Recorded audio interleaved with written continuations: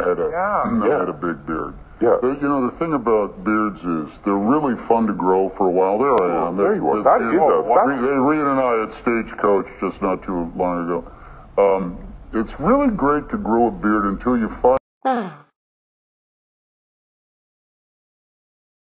um, you're not good doing a good Woody impression.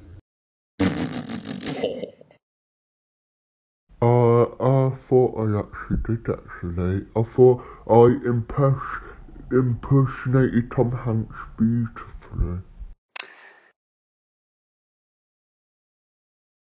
Let me try to be him. Oh no, please.